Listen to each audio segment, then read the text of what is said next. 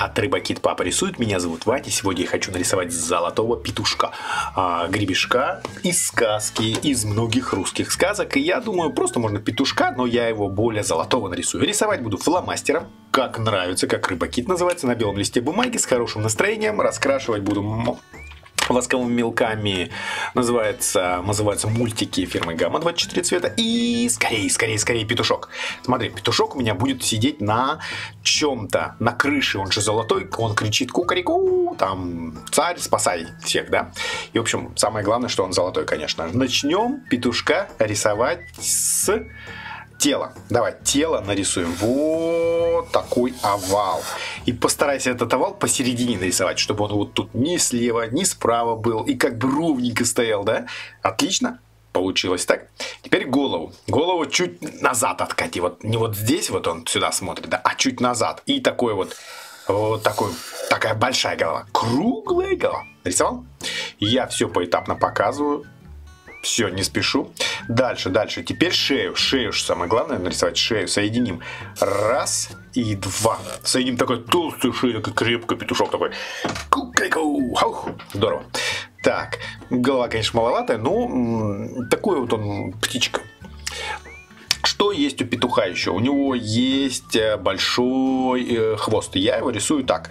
Смотри, полукругом так рисую. И раз сюда. И стараюсь так кругленько сюда, да?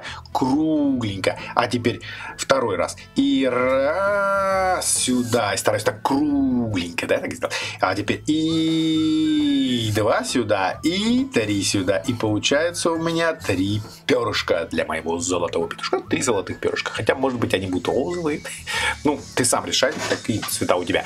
Дальше, что мы рисуем? Что у петушка есть? Что такого там? Что типа, самое главное нужно? Я думаю, крылышко и, и клюв. Клюв рисуем так, чтобы он кричал. Я хочу, чтобы он кричал. Он кричит. Крылышко. Крылышко просто так нарисуем. Крылышко вот такое, вот так нарисуем. Просто, но зато сразу понятно, что это крылышко. Крылышко есть, клюв есть, а чтобы петушок был, золотой гребешок. Раз, два, три, золотой гребешок и, конечно же, бородушка, борода. Такие вот большие штуки, я не знаю, как это называется, но они выглядят, конечно, потрясающе. У людей нету, хотя борода есть у людей. Вот у меня чуть не растет. Так, что есть еще? Петушка есть ножки, ножки, лапки нижние, да, и мы их рисуем в таких штанишках. Я нарисую в штанишках, но они будут рядом стоять, потому что он стоит на одной круглой штучке. Я ее сразу нарисую, чтобы тебе было понятно. Вот на такой штучке это крыша. Это самый верх пик крыши. И здесь как раз стоит наш петушок. Вот так. Раз, одна, а, а, а, а, один подштанничек, второй подштанничек, а теперь лапки так соединяем, раз-раз и сюда, да, и он такой э, держится. Ну, не знаю, так его царь посадил и говорит, следи, петушок, за нашим царством-государством. И не хватает, конечно, все мы нарисовали, кроме глаза. Глаз, я думаю, что можно нарисовать даже такой кругленький и классный, с таким вот, вот такой глаз. И можно еще перышки. Вот так раз, два, три перышки. Отлично. Раскрашиваем. Петушок готов. Все поэтапно мы нарисовали. Прям не спеша, из сказки, из сказки Пушкина, или просто петушок шел мимо, залез, и давай зайца спасать, да? Начнем раскрашивать. Я начну с желтого, как так мне нравится золотой же петушок, я хочу золотого нарисовать петушка. Раскрашиваю я восковыми мелками, я думаю, это самый доступный демократичный вид рисования, раскраски. А, мне нравится, потому что очень ярко, очень мягко, легко, не надо давить, они не пачкаются, руки чистые, да? И, собственно, они, их много. Чем больше цветов, тем лучше. Родители некоторые спрашивают, сколько цветов нужно для начала. Я так думаю, а, если малыш совсем маленький, то, конечно, а, нужно немного цветов и ну, там 6 вполне достаточно, но в принципе, если мы уже 3-4 года, то можно попробовать побольше. А, а от 5-6 лет, я думаю, 24 цвета хорошо, потому что многие желтые похожие, к примеру, красные похожие, даже если какие-то потеряются, можно использовать дальше. Так, теперь все желтеньким. Раскрашивать трудно. Я советую ребятам маленьким, юным художникам не стараться очень сильно и тщательно раскрашивать, да, прям, чтобы рука не уставала, да. Как раз от маленьких тоненьких мелков не будет уставать рука. А уже когда ты уже научился раскрашивать и не тормозишь, а быстро раскрашиваешь, что тогда уже можно и по поровнее раскрашивать. Вот сейчас я, например, взял а, желтым покрасил, теперь добавлю оранжевым, он начинает золотеть. Такой поджаристый петушок будет. Сюда оранжевого добавлю. Где хочешь, добавляй оранжевого. Мне нравится вот сюда, сюда.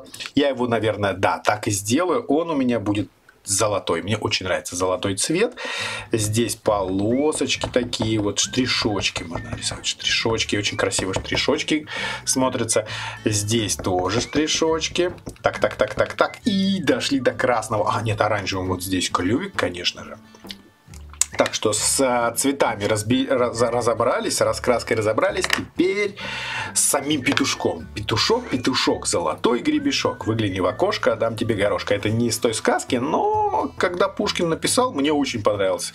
В детстве я читал, как он написал про петушка, и царь спасал, спасал свое государство, а потом все-таки кончил плохо, да. Это, конечно, жалко. Но Петушок старался, помогал. Сам Петушок не виноват. Он, он как мог помогал. Так что Петушка мне всегда как бы а, жалко. А еще мне жалко, что про него потом забыли как-то, и потом все уже пошли про других рассказывать, а про Петушка забыли. Вот это мне жалко. Из-за этого я возвращаюсь сегодня к Петушку и говорю, что Петушок не виноват. Он старался как мог. Он спасал государство и указывал, где враги, и, в общем, надо спасать было и ехать с, воевать с врагами, а вот закончилось все плохо. Так что петушок хороший. Так, э, раскрашиваем. Я нарисовал такие маленькие а, облачка, и я думаю, что я не буду раскрашивать весь фон. И тебе тоже не советую. Мы учимся, мы с тобой нарисовали классный рисунок. Раскрашивать фон сейчас не обязательно. Мы здоровские ребята, мы молодцы. Нас нужно похвалить маме. А маме большой привет передай, если ты подаришь ей этот рисунок. Немножко добавь розовенького, свои облачка. Мама поймет, что ты старался и любишь природу, потому что видишь, ты замечаешь, что иногда облака будут розовые, когда ты смотришь на небо. Сказки продолжаются. Петушка я нарисовал быстро, это такой разминочный рисунок для меня, когда я сажусь и много рисую всяких интересных рисунков, а на канале Рыбакит их много. Я тебя зову и приходи ко мне в гости и на YouTube, и в Instagram. А, еще впереди у нас много сказок, потому что я их читаю, даже, можно сказать, вспоминаю, когда я вспоминаю одну, потом зацепляю другую, и хочу ее тоже нарисовать. Так что в ближайшее время у нас и Леш, и другие герои наших и русских, и зарубежных сказок. Читаем, по крайней мере, рисуем, а немножко вспоминаем, обсуждаем. Я рассказываю то, что я думаю. Петушок классный парень. И всегда хорошо себя ведет во всех сказках, мне кажется. Чудесная птица. И такую очень хочется нарисовать. Хороших рисунков. Приходи еще. Пока-пока.